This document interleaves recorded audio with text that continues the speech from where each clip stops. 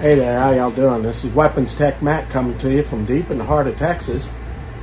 And uh, tonight, I've got one of my favorite pistols that I've acquired, oh, in the last couple of months. And this is a Manhurin P1. Now, I guess you could say um, Walther P38, Walther P1, French made Manhurin under German auspices. Interesting story behind this, and uh, I'll tell you what I know about this guy. Um, of course, this is a copy of the Walther P1, earlier P38, and uh, everything is pretty much the same for the most part.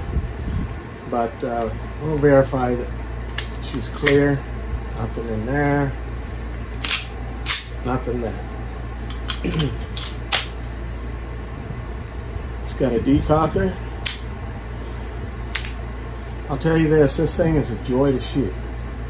It is a fun gun.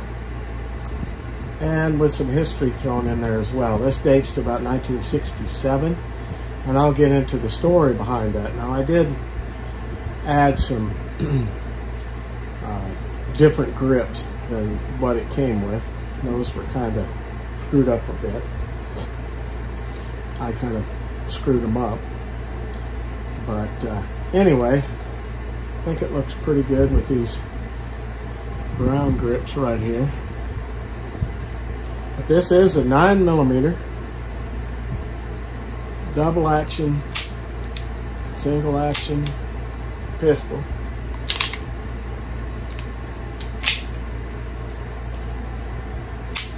Of course, it has a really nice double action draw, but it's about 12 to 13 pounds.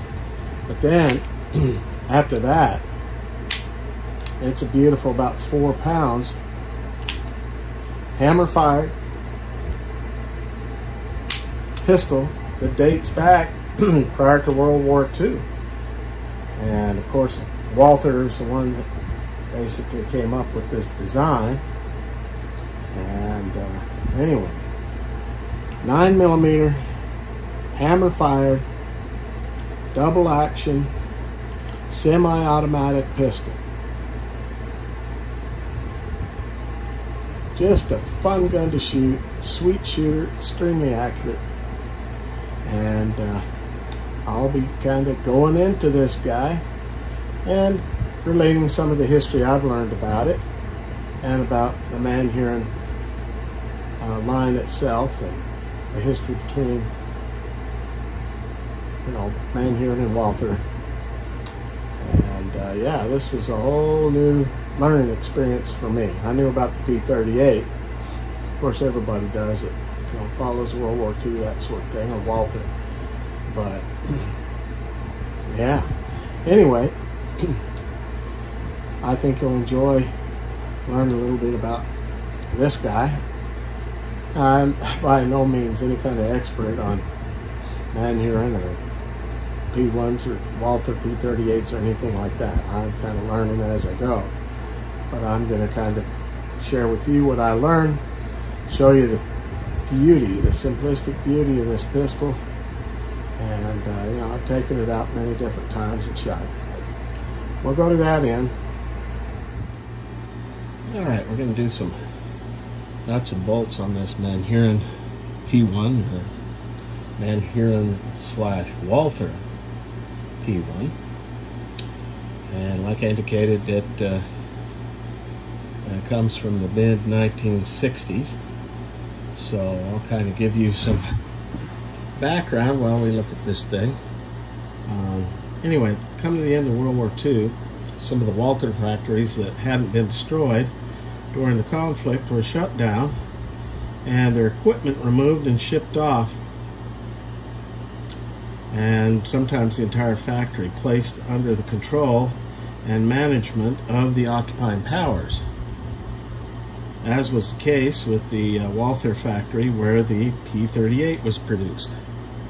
And the factory was passed into the control of the French, and under new management, the facility started operating under the name of Manhurin, but used the Walther equipment and upheld its quality standards. So, you know, this is pretty much like the P-38, the Walther P-1.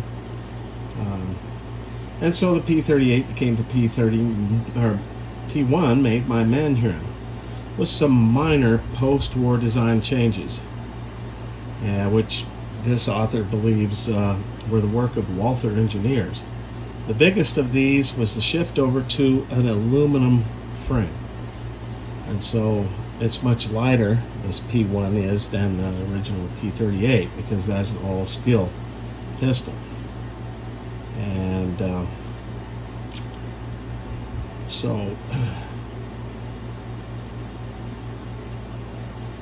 let's look at the P1 operated the same as the P38. It is a true double and single action gun it could be carried with the chamber loaded and the hammer down using the decocker lever so that with the safety off, a long pull of the trigger would cock and fire the gun. And the double action trigger pull is not that bad. It's pretty nice. In fact, it was brought to my attention that uh, at the end of the war, Smith & Wesson sent some of their engineers over and uh, if you look at the Model 59 their trigger group trigger assembly is pretty much exactly what the Walther P1 was so they just copied it at least that's the information I got um,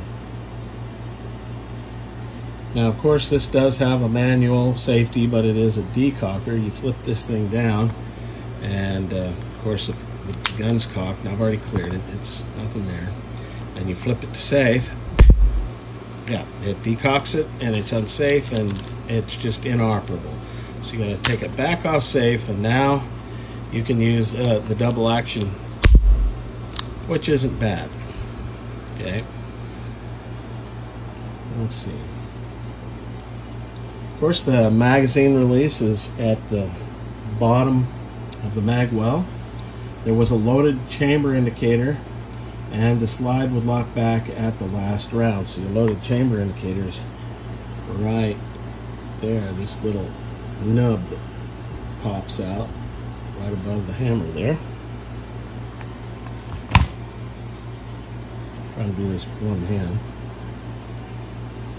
Uh, the sights on the P1 hadn't changed.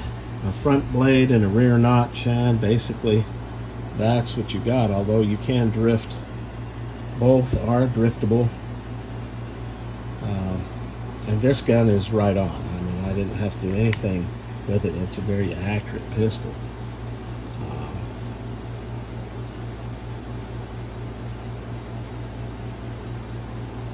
um, and of course I, I mean you're going to be getting four inch groups at 25 yards uh, possibly even smaller Grips on the gun were the same Bakelite top type, hard black plastic with ridges which allow for a secure hold. of course I screwed mine up so I got these uh, brown Bakelite, or at least wannabe Bakelite. And it, I mean, it looks pretty good.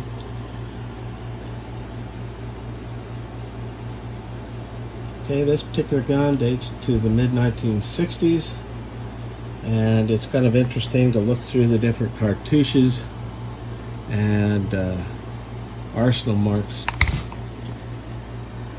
on the gun. And it comes from German uh, West Berlin police. In the end, just as the P-38, um, some people like the decocker, but uh, this particular author didn't like decockers. I'm like, well, whatever. Uh, a lot of guns nowadays and have these things, but um, given that the P1 is essentially a P38 with an aluminum frame, much of the information out about the gun is still applicable. And chances are you can find some of these uh, in P1s. Now, There are some design differences than the original P38, and from what I understand, you're not going to be able to interchange some of the P38 with this particular post-war version here. Uh, I'll give you some stats here. Breakdown of weight, length, things of that nature. Okay, overall length of this guy is just about eight and a half inches. Overall height, we're looking at five and a half inches. Uh, width, it's a little over an inch. Um, weight, of course, this is empty weight. It is uh, 28 ounces. So that's not bad. Uh, it, it feels fairly light for a substantial gun. It has a good ergonomic feel to it. Uh, and it's just a lovely piece of history. Uh, trigger pull in double action is just about 11 pounds and in single action it is a beautiful three and a half to four pounds. I'm sorry my my gauge is dead so I need to get a new one. But just love that single action trigger pull. Um, slide release is right here on the side. Takedown lever is there. Uh, it's just, uh, yeah, pretty basic. Walther P1 Manhurin. Ever get a chance to get one, definitely uh, look at doing that. That's kind of your breakdown of the statistics of this guy. Let's see, what else? Uh, uh, you do have some striations on the back right here. Uh, the, the grip is really good. Uh, the hammer has striations on the top. Uh, you do have a lanyard. And uh, yeah, that's pretty much the breakdown of this uh, particular pistol. Okay, let's give this Manhurin P1, Walther, a run.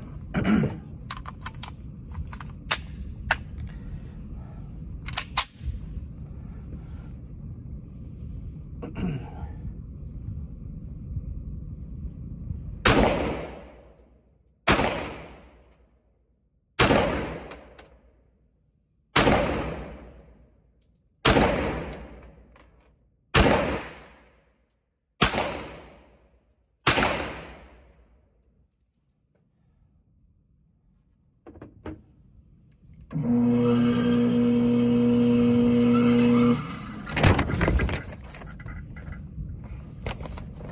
not bad for my first shots with this thing. Let's load it up and do it again.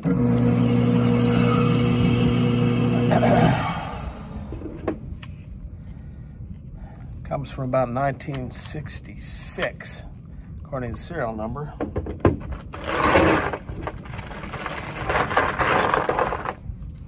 Course, I'll tell you the story when I do the review. These are the first shots that I am having with this. It was real good. Of course, I'm giving you a little different view this time. See how this angle does. Let's run another eight through it.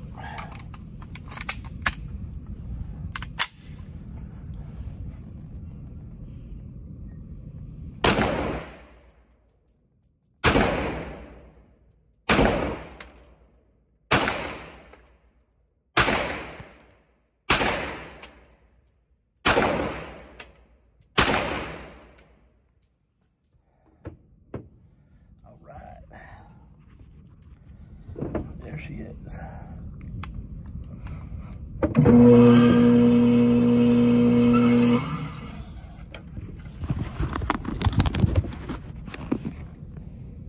Not bad. Okay, we have them, and here in P1 are basically a Walther P38. Let's see how she goes.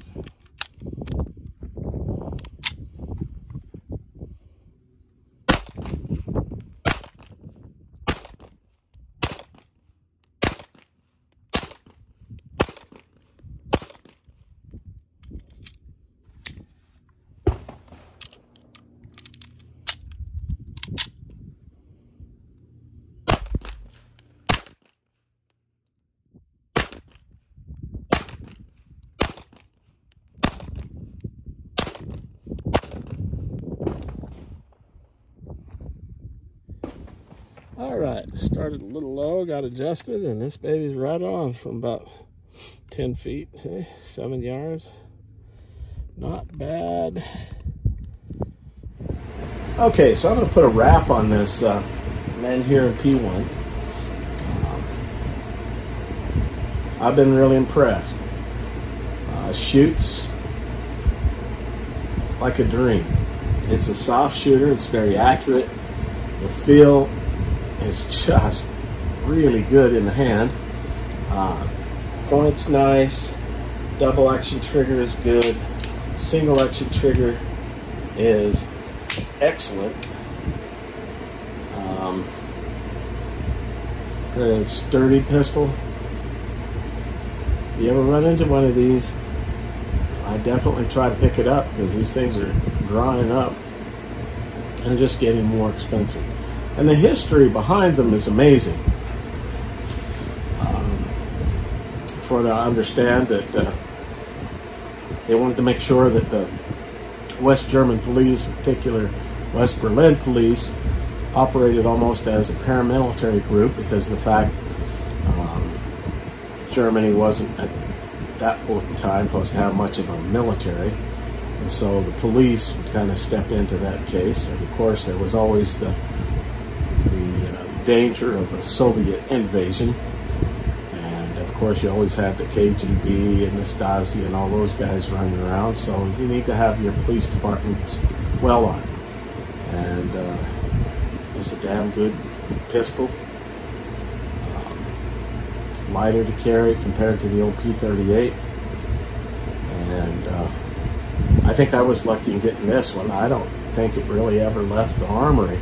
I don't see any holster wear at all on it, but it does have the markings of uh, the Bundeswehr and the West Berlin Police. So, Cold War relic, I guess you could say.